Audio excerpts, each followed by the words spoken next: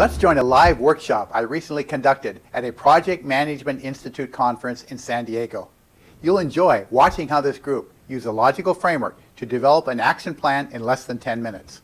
I've added some in-studio commentary to the live action to reinforce some of the key ideas. We'll use a planning tool called the Logical Framework. It may seem complicated at first, but it's actually quite simple and logical. It's based on four questions which help us to define and align the various project objectives, identify measures of success and how we're going to verify, spot the risks and assumptions, and develop a more complete action plan. So the first question we'll ask is what are we trying to accomplish and why? And we're trying to accomplish objectives. And we will arrange those objectives into a hierarchy of outcomes, specific deliverables, and if outcomes then purpose, a higher level objective, if purpose, then goal. Because every project has multiple objectives. We will then ask, how will we measure success at each of these levels? How will we know in advance that we've achieved these objectives? We'll come up with measures, quantity, quality, time, cost, customer, as well as verifications, the means of determining the success measures. Then we're going to ask, what other conditions must exist? What assumptions do we have to make for this if-then logic to be valid? The fourth question is, how do we get there? Now, in my experience, most people jump prematurely to the fourth question. That's like trying to paint the house before you've built it.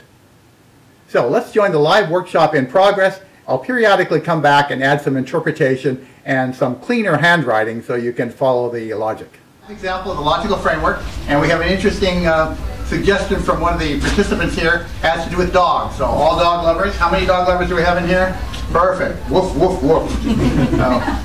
so the goal I think we stated as Reduce the number of dogs euthanized. reduce the number of dogs euthanized. Great. So what do we have to do in order to reduce the number of dogs euthanized? Increase the number of dogs adopted. Great. Increase number of dogs adopted in, shall we say, San Diego County? Great. So we begin to structure the hierarchy of, of objectives. What's one of the outcomes, one of the things that we can make happen that would lead to this, to this benefit? Provide that training for dogs that are difficult to place. Okay. And another one? Increase awareness of pets uh, available for adoption. Okay, let me start with that. Increase awareness of pets for adoption. And the second one was again? Provide that training for dogs that are difficult to place. Done, we've established a hierarchy of objectives. All right, welcome back. The group came up with a hierarchy of objectives of the form if-then. So basically it says if we do certain tasks, uh, which we call inputs, we can provide these outcomes, increased adoption and training. If this will accomplish a purpose, increase the number of dogs adopted, and contribute to the goal of reducing the number that's euthanized. So with that structure, with that hierarchy of objectives, we can come back now and answer question number two. What does success look like at each of those levels? I'd like everybody to help me here coming up with some measures. What does this look like? How would we measure that we've reduced the number of dogs euthanized? Again, looking for quantity, quality, and time. Anybody? Past statistic. Okay, past statistic would be a, a means of verification. Structure a measure here that in the year 2012,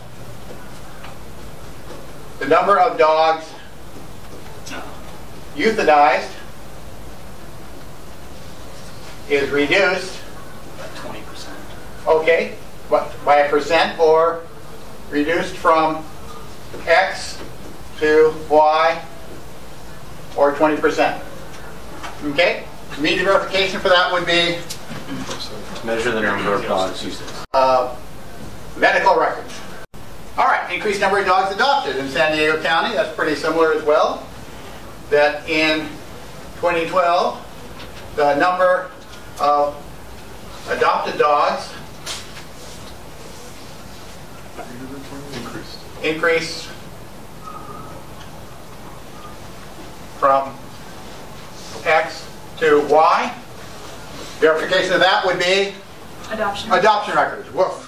Okay, welcome back. Let's add the success measures the group developed at the goal level, reducing the number of dogs euthanized by a certain number during the year. At the purpose level, increasing the number adopted. At the outcome level, measures there as well. 30% increase in the number of calls would be a good indicator of increased awareness of pets adopted and training and so forth. So these measures, along with verifications, provide the basis by which we'll track implementation success as well as evaluate after the fact how successful our effort has been. Now let's add the third question. What other conditions must exist? This gets into assumptions and risk factors. Back to live action. All right, creative group, I'm impressed. so if these outcomes, we can achieve this purpose, provided that what? What assumptions do we have to make to go, to go from here to here? Training works. Ah, that the training is effective. That the training works. Otherwise, people are going to take the dog home. I can't deal with the dog. Bring it back. That the marketing works? That the marketing works. Okay. That people prefer adopted dogs or, you know, that, that they're willing to adopt a dog? Yes. People are willing to adopt a, let's say, a bad dog. Okay. Now, what could you do to reduce that risk, to influence that assumption? Let them know that you've trained them and that they've improved and, Good, good, good, good. So that might be part of this awareness program. huh? Awareness, more exposure to the, um, the pet dogs in Maine society. More exposure. People, more opportunities to see them or interact with them. Yes, okay, so you might have, uh, what do you call it, open day? What do you, what do you call open day? Open house. Open house. Okay, Give good. incentives? Huh? And could we give incentives too, like free training or free? We actually have that, and we do provide pet training for dog, for dogs that are difficult to place. All right, so if this, then this, if this, then this. What additional assumptions? Now, there's a whole bunch of activities that we have to, put- to put in place in order to produce these outcomes. Looking at this set of outcomes, what are some of those activities? Cooperation with the penal facility? Good, good. That the penal facility will cooperate. Okay, what else? Yeah. Well, at the very beginning, that you're in a geographical area that's dog friendly. There's like Boston loves dogs, other parts of the country don't.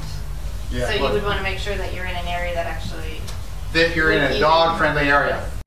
Okay, can you, can we think of a place that isn't dog-friendly? Yeah. My apartment? I'm just Your apartment. Oh, Okay, Okay, so we're gonna be in a dog-friendly area. Excellent. Okay, any others? Uh, Trainers are available? Good. Trainers available. Trainers available at no cost, huh? Yes.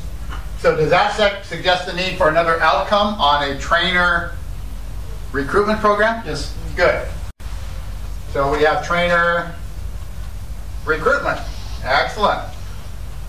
How about funding for the marketing awareness program? Ah, we can get funding for marketing awareness. Funding. Okay, good. So let's take a look. I think we got good assumptions there. We'll come back and test a few of those. If we increase the number of dogs adopted in San Diego, we can reduce the number euthanized, assuming that what? Assuming, let's say, that there's no change in youth in the euthanization policies. All right, the group identified a set of assumptions. We're in a dog-friendly area, volunteers available. They had identified assumptions that impact each level.